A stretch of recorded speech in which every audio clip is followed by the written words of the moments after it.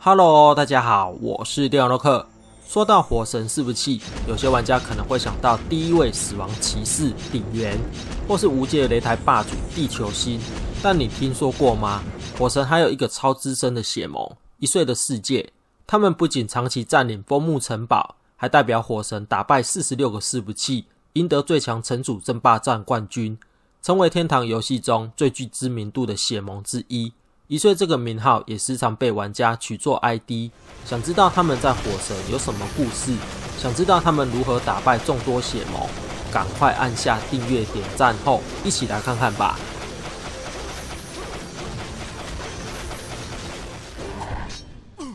玩过火神伺服器的资深玩家，一定都有听说过一岁的世界这个血盟。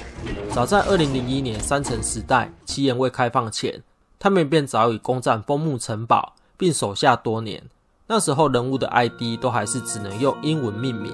最早的创始人 ID 名为 Crazy Johnny，人称疯狂强尼的资深玩家。一岁这个称号就是由他开始拓展到其他伺服器。如果你在路上看到什么一岁就很强，一岁就飙车这一类的 ID，便是由他开始。还有其他伺服器的玩家特地跑来火神，经由他同意创立类似的一岁血盟。但后来因为工作问题离开天塔。不过一岁的世界并不解散，而且从三十几个人的小盟发扬到一百八十人以上如此规模的大盟，靠的就是精神领袖大姐 Whisky 接替强尼领导众人，延续梦想。一岁的世界正式更名为一岁蓝色 Pop，并把一岁这块招牌发扬光大，登上天堂 Talk。这位大姐主要玩的是一只魅力十八的公主角色。努力升到五十二级之后，就爬升得很慢，因为公主一上线都主要是在处理事务，后来就把时间都放在经营血盟上。每逢过年过节，都会举办血盟线上活动，举房升级奖励、PK 比赛、有奖征答，为了就是让这个大家庭气氛踊跃。这也是大姐的人格魅力使然，让一岁的世界比起以前更加团结、更加盛大。这次公主通过四十五级试炼之后，转为联盟系统，两点升级点数加上魅力项链、红骑士斗篷，魅力二十二点的她可以招收魅力值九倍的血盟人数，也就是最多一百九十八人。不过大姐还是暂时以一百八十人为标准，骑士居多，其次是妖精和法师，其他额度保留给工程时间。如果当时上线人数不够多，马上能够向众多朋友、商界死期、水妖支援。但想要加入拥有大巴资源的承包血盟并不简单。第一就是要有熟识朋友的推荐信，再来就是不准开内城门。对于城堡血盟，内奸可是一项大禁忌，很有可能会让努力多年的成就功亏一篑。不过说到火神伺服器，并不是只有一岁的世界独大，早期更有狂袭、维和、英族、死期栖息地等知名血盟。建构起整个互相争夺的战国时代。就我所知，英主、维和、一岁都是各据一方的大盟。英主曾经掌控奇岩海鹰，他们的王主为英主皇子，旗下还有沧海之鹰、黄金之鹰各个分盟。维和的话，一开始血盟名称为 SWAT，王子 ID 为 SWAT 七七八八，会以维和部队命名的血盟，想必是与警察有关联。没错，王子的现实职业。为正感的霹雳小组队员，曾经以二十分钟惊人的速度成功猎杀以前的地龙。对于一般玩家组队需花费几个小时，这样的速度真的很惊人。此外，还曾以二十八人的团队，一网一妖一法，二十五只骑士，二十分内轰下铁城之称的肯特城，并搭配友军死守一个半小时。当然，力量出身的他，在显盟人数不足的情况下。如果面对联合势力的围城攻势，肯定抵挡不了，所以后来才又有了维和捷报天下、AK 部队等分盟镇守肯特。至于一岁，则一直处于偏安枫木，始终坚守枫木地间这块漂白练功圣地，其中诞生过不少高等级的知名骑士。大家最熟悉的莫过于无界擂台霸主地球星，能够与天堂第一人纳西亚媲美的他，也是一岁这个血盟的资深玩家。身为练功狂的他，与火神第一位死亡骑士顶元长期霸占了无界擂台的排行榜。不过后来这两位高手也是逐渐淡出天堂。后来一岁的盟友们经过苦练，在等级上大有所成，亚丁开城后也曾经有一段不错的成绩。时间来到二零零九年，说到一岁这个血盟，其他伺服器的玩家可能会想到城主争霸战冠军。这个活动是橘子在当年所举办的跨服工程战，而一岁就是当时的第一届冠军。其实，在二零零八年就曾举办过工程活动，不过是以每个伺服器分开举行。活动期间将清空原来拥有城堡的血盟肯特、妖堡、枫木、奇岩、海因、威顿、亚丁，共七座城池。而攻占城堡次数最多的血盟即为当日优胜者。活动结束后，累积优胜次数最多的血盟即为当四武器的冠军，将可独得古代的卷轴十张及魔法娃娃的袋子五十个。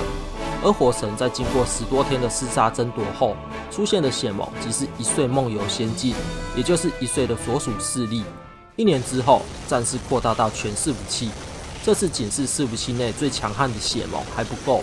要在全四十六个四武器脱颖而出，势必要集结全服最强战力。光是要报名的血盟，就得在活动时间内占有城堡。每个血盟限定参加人数上限为一百五十人。活动时间内会加开活动伺服器，并停止所有天堂城堡的攻城战。那么这么多血盟城主要如何比赛呢？活动采初赛、准决赛、总决赛制，每位盟主带领一百五十位盟友。并随机抽签分配组别，每个人在活动伺服器都可以带着原本的装备进入，并有三千万的天币可以提供水钱。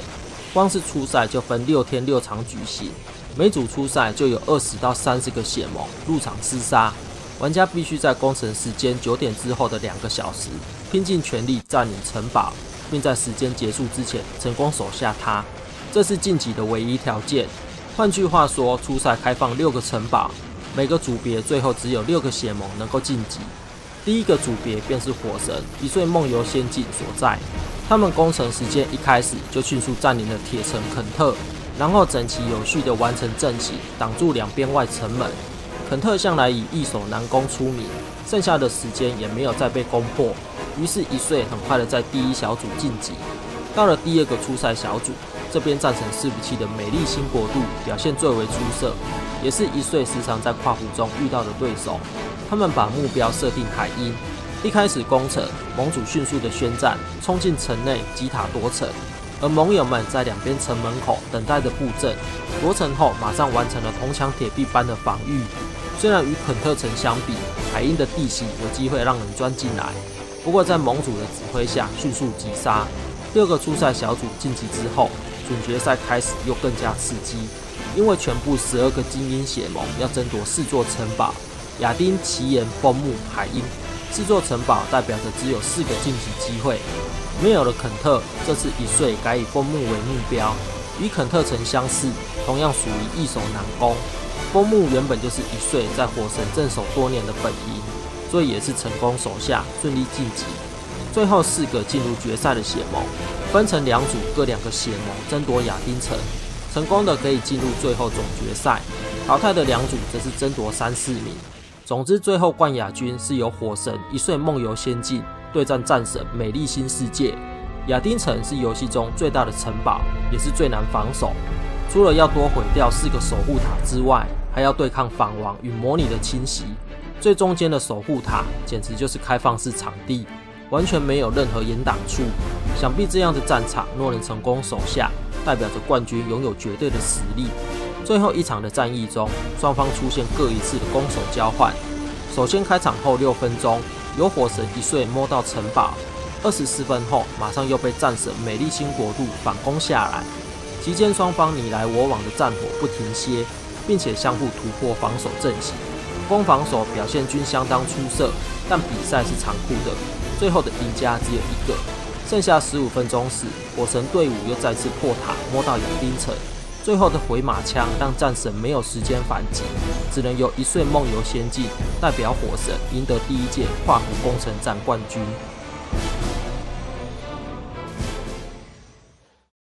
最强城主争霸战是当年第一次举办的跨服活动，比赛之盛大让荧幕里挤满了玩家。后续又举办了好几届跨服工程战。这些强大的血盟也是时常出现在名单中。